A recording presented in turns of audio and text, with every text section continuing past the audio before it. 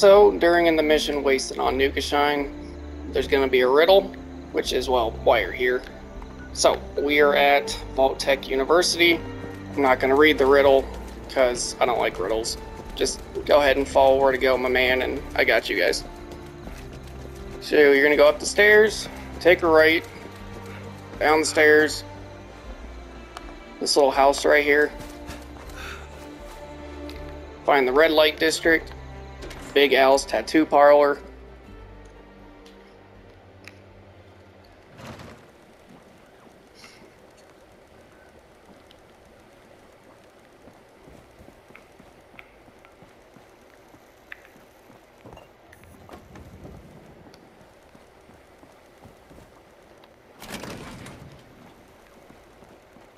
Uh, I guess there's a secret door.